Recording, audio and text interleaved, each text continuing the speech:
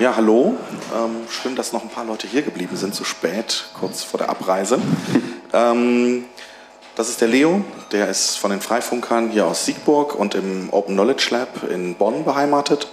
Und ähm, ich bin Kaspar und ich bin auch im Open Knowledge, Lab, Open Knowledge Lab in Bonn und gehört zu den freien Netzwerkern. Ähm, wir kümmern uns um alles Digitale hier im Hennefer Raum. Und ähm, dann fangen wir, glaube ich, einfach mal an. Ja, die Open Data Map ist unsere Karte, die ich und Caspar zusammen entwickeln. Und unser Problem dahinter, das wir lösen wollen, ist, dass es ganz viele verschiedene Karten von allen möglichen Projekten gibt, die Open Data produzieren. Allerdings hat jeder seine eigene Karte und seine eigenen Daten und es gibt auch keine Standard und wir wollen einfach die Karte, also wir wollen die Daten nicht nur die ganzen Projekte zeigen, die ganzen Daten deutschlandweit, die uns ja meistens gar nicht interessieren. Wir interessieren uns ja am ehesten für die Karten, die bei uns in der Region hier sind. Und dafür ist die Open Data Map von uns. Genau, also es gibt natürlich noch einen offenen Standard, sowas wie GeoJSON, der wird dann aber doch nicht äh, verwendet. Ähm, diese, diese, diese Projekte zeigen in erster Linie natürlich gerne, welche große Verbreitung sie schon haben. Ne? Und deswegen Deutschland noch besser global. Ähm, und ähm, das sind jetzt mal zwei einfach als, als Aussicht. Das eine ähm, sind die, ist die Luftdaten-Info-Map, also die Feinstaubbelastung, die, wie wir sehen, nicht besonders hoch ist. Das ist noch von gerade eben ein Screenshot. Das andere ist die äh, ttnmapper.org äh, mit dem ein Niederländer ähm, quasi die, die, die Verbreitung von LoRaWAN in, auf der Welt oder in dem Fall hier in Europa äh, visualisiert.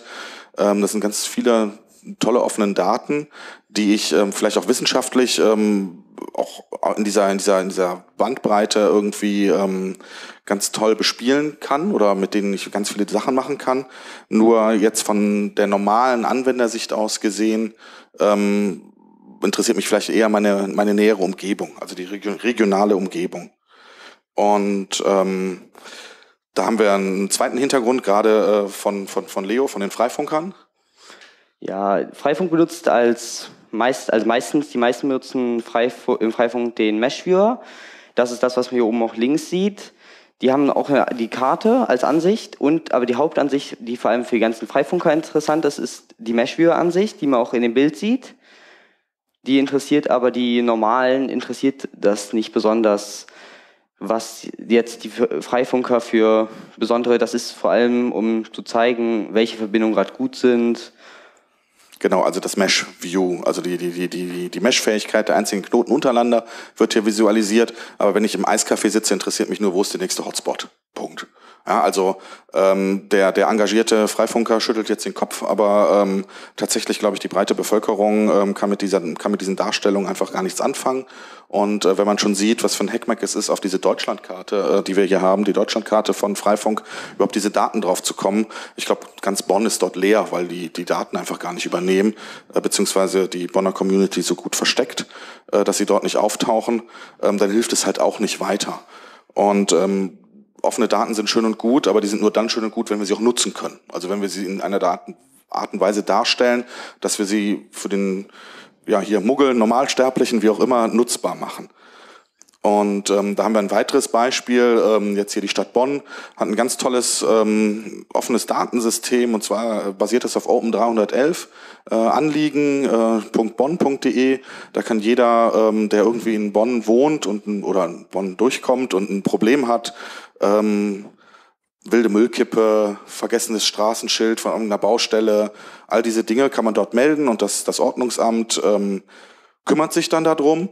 Und äh, wenn man dann mal guckt, wo denn da sowas ist, dann bekommt man eine Karte wie die obere. Ähm, ich drehe mich jetzt mal gerade von der Kamera weg, aber da ist nicht viel zu sehen, außer dass man sieht, überall ist irgendwas. Ähm, wenn man dann anfängt zu filtern, bekommt man so eine Karte mit so einem schönen Kreis und es dauert und es dauert und es dauert und irgendwie nach drei Minuten ist sie immer noch nicht geladen. Ähm, kann man anders machen? Wollen wir anders machen? Und ähm, so kamen wir dann halt auf die Idee, selber uns mal mit diesem Thema Karten auseinanderzusetzen, speziell äh, mit dem Thema halt auch um Echtzeitdaten zu visualisieren. Also ist nicht die Konkurrenz zur OpenStreetMap, sondern es ist tatsächlich geht eher darum, Daten, die sich permanent ändern, die permanent neue Daten anzeigen, auf einer, also Daten auf so einer Karte zu visualisieren. Ja, von der Technik her, unsere Karte basiert auf Leaflet.js. Das ist äh, ja, eigentlich das, was die meisten Webseiten, die Karten benutzen, benutzen. Und also GraphQL, um die ganzen Daten runterzuladen von einem Backend-Server, der in Node.js geschrieben ist. Und das Ganze ist mit TypeScript, um auch die Typisierung, die leider eigentlich die meisten Programmiersprachen haben welche und ja, JavaScript halt leider nicht. Deswegen benutzen wir TypeScript, um damit auch auf der sicheren Seite zu sein. Genau, wir haben uns für, für, für Leaflet.js ähm, äh, entschieden, weil das einfach der, der, der kleinste Stack ist, den es da draußen gibt, äh, wenn man anfängt, irgendeine Karte zu bauen, äh, mit dem wenigsten Overhead und ähm, darauf dann aufgesetzt. Und ähm, wir haben dort ähm, einfach mal genau äh, drei von diesen Punkten, ähm, also drei von den äh, Daten, ähm, ich mal gucken, genau, ähm, wir haben ähm, drei Datenlayer quasi uns genommen, von denen, die wir auch eben vorgestellt haben und so als erste Anwendung einfach mal als Module dort reingebaut. Ähm, diese Karte ist ähm, total modular aufgebaut, also das sehen wir gleich noch. Man kann sehr, sehr, sehr schnell ähm, eigene Module dafür entwickeln und dann diese Daten ähm, anzeigen. Ähm, ich gehe jetzt einfach mal, also das obere Bild zeigt zum Beispiel eine Heatmap, ähm, die das äh, In-Thema äh, IoT-Netzwerke, also in dem Fall LoRaWAN, ähm, beackert. In der Mitte der, der, der blaue Punkt, das ist ein Gateway. Drumherum sieht man sehr schön, wo wie viel Empfangsstärke ist.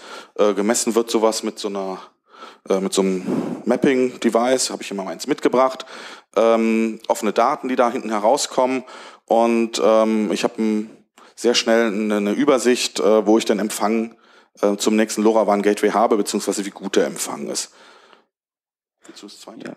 Ja. Äh, beim zweiten sehen wir einen der Open 311 Knoten, das, also das sind die Knoten, mit dem die Anliegen oder der Mängelmelder, wie es auch manchmal genannt wird, da sind dann die Anliegen, äh, die, das sind so kleine gelbe Punkte mit so, ja, so einem Zeichen drin, drin was immer es ist. Und da sieht ja, man sie genauer. Genau. Also da sieht man diese, diese ganzen Punkte. Das sind alles Open 311 Daten, die so ein bisschen verwirrend auf dieser Karte vorher dargestellt werden.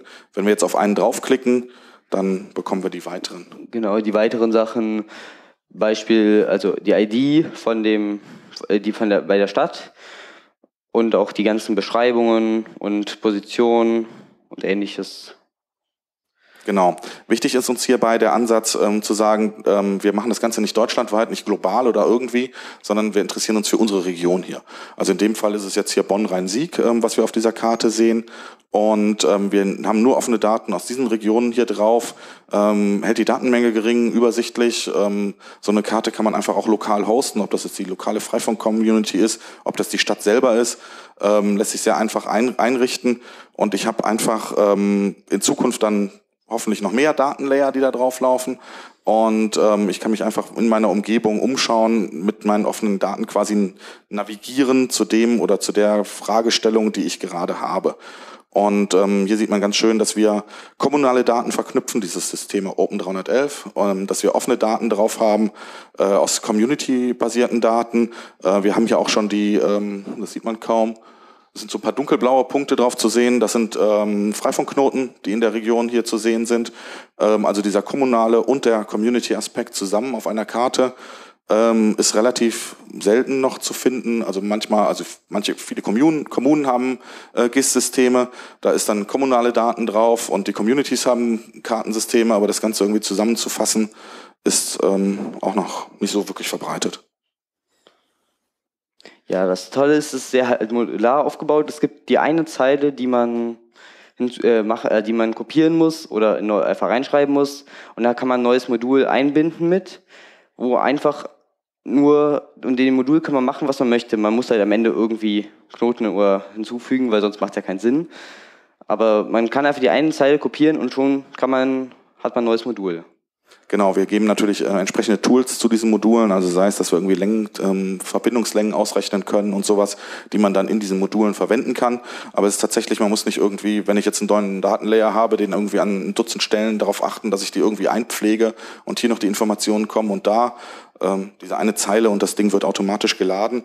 Das sieht dann auch in der, in der Konfiguration relativ einfach aus. Ähm, da passt jetzt hier die Auflösung nicht, ähm, aber ein, ein so ein Block ja, ist quasi ein, ein Modul mit Konfiguration, wo nicht viel mehr drin steht, ist, ist der standardmäßig an.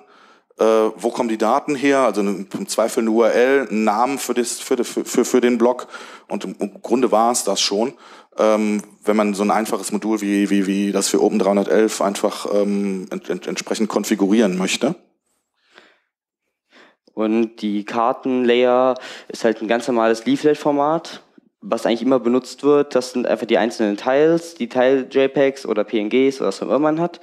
Und die kann man einfach als neuen Block mit einbauen und schon hat man einen neuen Layer, der auch automatisch gerendert wird, so dass man unbegrenzt, ja unbegrenzt nicht, aber unbegrenzt, also fast unbegrenzte Anzahl an neuen Layern hinzufügen kann, so viel man möchte und woher man möchte. Genau, also man kann sich den, den, den Zulieferer seiner, seiner Grundkarte einfach selber aussuchen und den ganz einfach dahinter legen. Ähm, was wir äh, grundsätzlich suchen, sind halt äh, weitere Testanwender. Ähm, wir haben jetzt hier gerade jemanden gefunden, der das für Aachen aufsetzt, ähm, Entwickler weiterer Datenquellenmodulen, ja. ähm, Module. Okay. Ähm,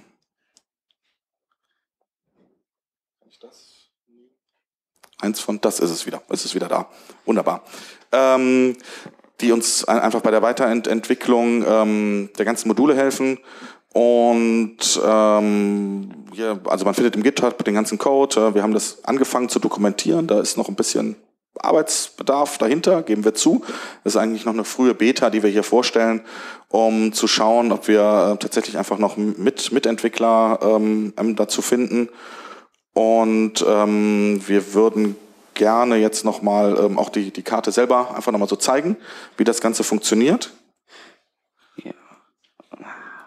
Muss, glaube ich, einmal rausgehen mit Escape.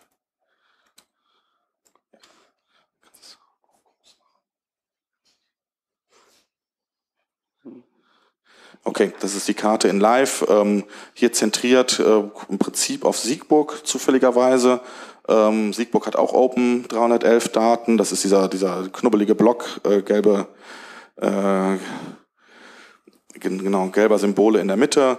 Ähm, wir sehen hier ähm, so blaue Pins, das sind LoRaWAN Gateways. Wir haben die Heatmap drauf. Wir haben äh, die ganzen, ähm, Lora, äh, die ganzen äh, Freifunk-Knoten drauf. Da kannst du auch mal auf einen draufgehen. Genau, da sieht man die entsprechenden Metadaten die Metadaten von den Freifunkknoten. Im Freifunk gibt es netterweise ein einigermaßen Standard, äh, die Notes-JSON, die wir einfach einbinden können. Man muss einfach nur die URL in die Konfiguration, können wir auch gleich nochmal zeigen, einfach reinschreiben und schon hat man seine Freifunk eingebunden und die neuen Knoten. Genau, warte mal gerade wieder raus. Na.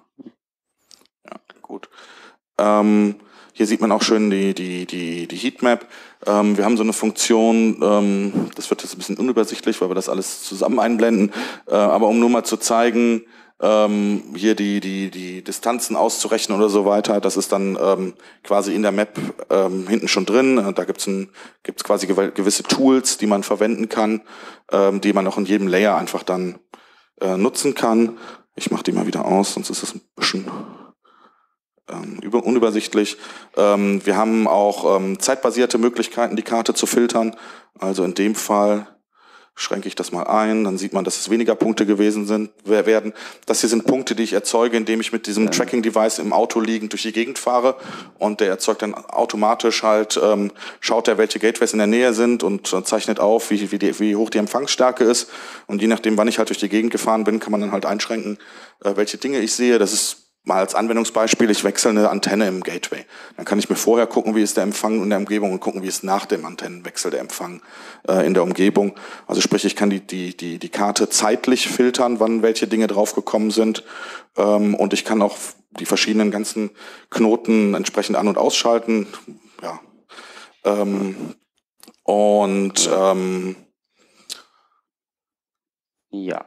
Ähm, als wird am häufigsten, diese Mapper werden dafür gebraucht, dass die Community weiß, wo sie noch neue Gateways aufstellen muss, weil sonst haben sie nur die theoretische Empfangsstärke, die meistens nicht so besonders gut ist.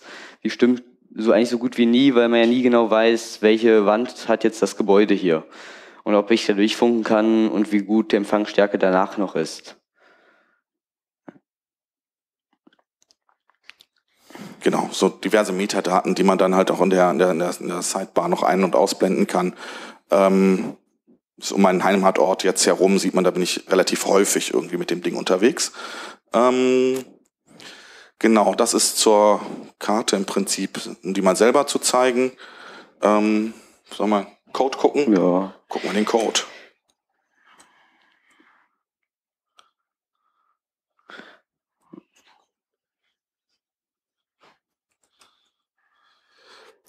Und warte, machen wir ein Stück größer.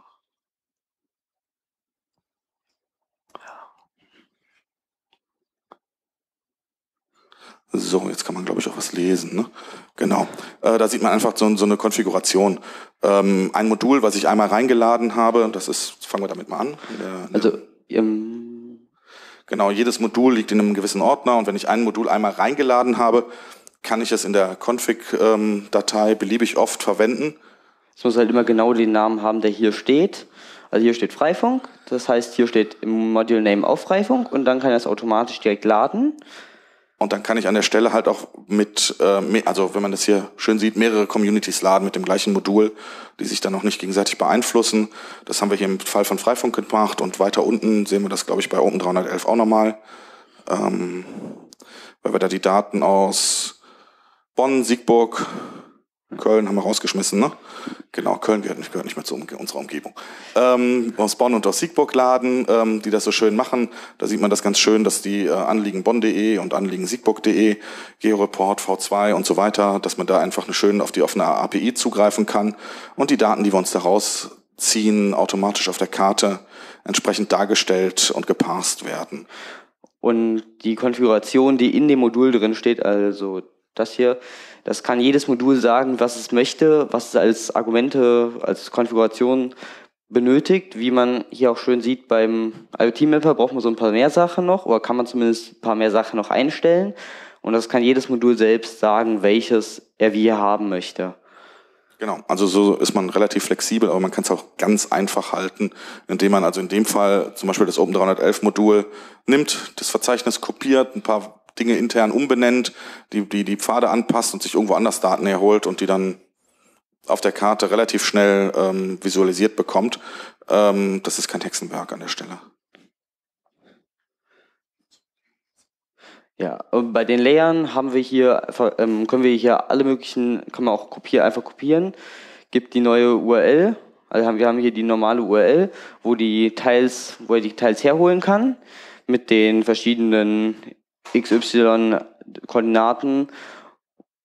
Einfach eine Attribution, also das Copy, der Copyright-Hinweis übergeben, den Namen und ob es, es gibt ein Night-Design der Map und ein Tag-Design wenn man einen Layer auswählt, der dunkel ist, wechselt er auch automatisch in das Nachtdesign rein, wo dann die äh, wo dann die Sidebar und der ganze Rest alles etwas nächtlicher aussieht. Und dafür haben wir dann die gibt's dann noch das gibt's dann dieses Night-Attribut, wo dann damit gezeigt wird, ob man diese, welche von beiden Designs man möchte. Gut, dann haben wir noch, ähm, ich mal kurz wieder zurück in die Präsentation. Ähm, dann sind uns einfach noch ein ist uns noch was aufgefallen. Äh, vielleicht ähm, sieht das ja der ein oder andere Entwickler. Wir holen die Karten, äh, die, die Daten halt per GraphQL, äh, Apollo Client. Und ähm, da heißt es immer ganz schön, äh, wir unterstützen so ziemlich alle Programmiersprachen. Äh, wenn man dann mal bei TypeScript bei denen auf der Seite sucht, dann findet man irgendwie komischerweise in der URL schon React, also ein ganz anderes. Äh man kann es gar nicht erst verwenden. Also wenn man TypeScript nur benutzt, ohne irgendein Angular, React, Ember, was auch immer, dann kann man es nicht benutzen. Obwohl die schön genau. groß damit werben. Das würden wir gerne irgendwie mal gefixt sehen, weil uns das sehr helfen würde. Da verspricht jemand, ähm, in dem Fall Facebook, ein bisschen zu viel. Jetzt waren wir relativ schnell durch, ne? genau. Äh, gehen wir gerade wieder zurück. Genau, also wir suchen Menschen, die, die, die Bock haben, daran mitzuarbeiten, ähm, die entweder sich äh, entweder offene Daten haben und dafür ein, ein Modul für unsere Karte ähm, schreiben möchten, entwickeln möchten oder natürlich auch Testanwender, also sei es irgendwelche Communities oder Kommunen, äh, die das Ganze mal aufsetzen, um das Ganze auch auszuprobieren. Äh, wie gesagt, Aachen probiert es, probiert es gerade. Hier im Köln-Bonner Bereich machen wir das selber. Ähm, aber genau. Es ist halt hilfreich, weil zumindest bei Freifunk, ich habe jetzt keine Dokumentation benutzt, um das zu bauen. Ich habe jetzt einfach unsere und noch ein paar andere Notes JSON genommen und einfach mal die Argumente raus, also die einzelnen Values rausgesucht und damit angefangen zu bauen. Und die Doku in dem Bereich war auch dürftig, um es mal so ja, zu sagen. Das und ist, das ist halt für uns auch sehr praktisch, wenn dann eine andere Community mal mit ihren Daten versucht, das Ganze zu bauen und, und uns ihre Fehler mitteilt, damit wir fixen können oder verbessern können. Oder auch einfach vielleicht, wenn es einfach noch ein Problem gibt, etwas, das wir eigentlich schon unterstützen, dass wir dann vielleicht mal gucken können, dass es für Freifunk vielleicht ein neues Format gibt oder ein, ein älteres und dass wir es dann mit unterstützen können. Genau, oder wie in so einem Fall wie Open 311, das ist halt total klasse dokumentiert, da braucht man nicht lange suchen. Ähm, da bekommt man das, die ganze Doku für. Aber davon gibt's da draußen natürlich noch tausende von Formaten und ähm, wir haben auch selber natürlich schon ein paar weitere Ideen, fängt bei den, bei den Luftdateninfo an, also bei den ganzen Feinstaubsensoren, kann aber auch noch weitergehen. Zurzeit entwickeln wir halt gerade noch so Features, also in der Art, wie die, wie die, wie die, wie die Einschränkungen auf die, auf, über so eine Timeline und solche Dinge und würden uns einfach freuen, wenn es wenn es andere gibt, die noch weitere Datenquellen als Modul hinzufügen. Gut, danke. Danke, ne? Genau. Ja. Jetzt gibt es vielleicht noch Fragen. Wir waren jetzt sehr, sehr schnell, aber es ist auch der letzte Vortrag heute. Ja, bitte, wer? Gehst, gehst du hoch?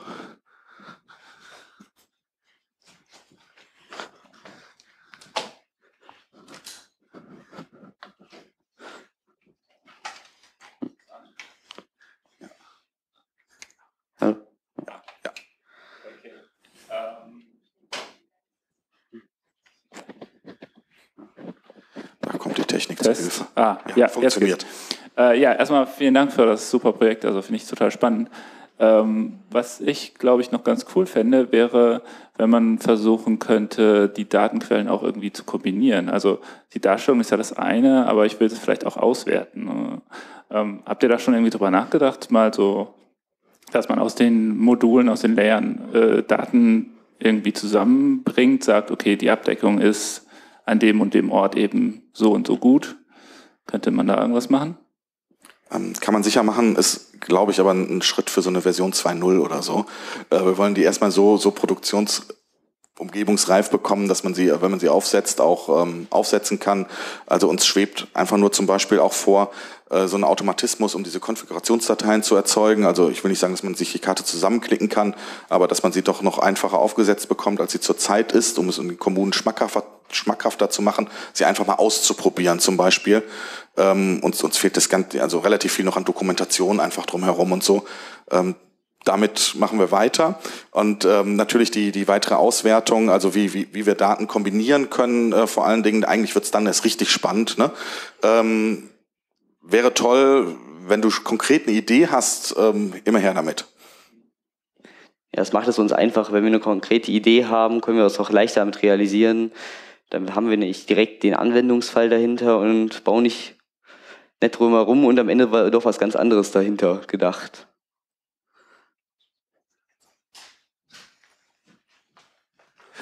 Weitere Fragen, Anmerkungen, Anregungen, Mitmachbekundungen?